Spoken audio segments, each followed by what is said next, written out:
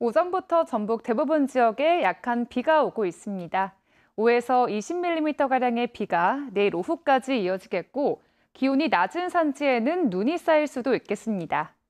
비가 오는 동안 도로가 미끄럽거나 도로 살얼음이 생기는 곳이 많겠습니다. 교통안전에 주의해야겠습니다.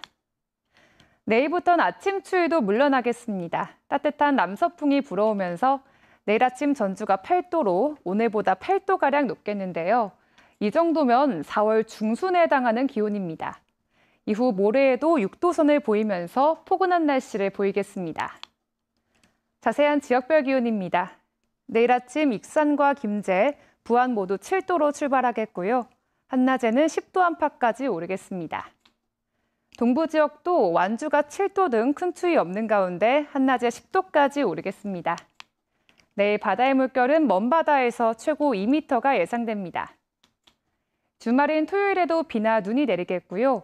일요일까지는 예년 이맘때보다 포근하겠지만 월요일부터는 급격히 추워지겠습니다. 날씨였습니다.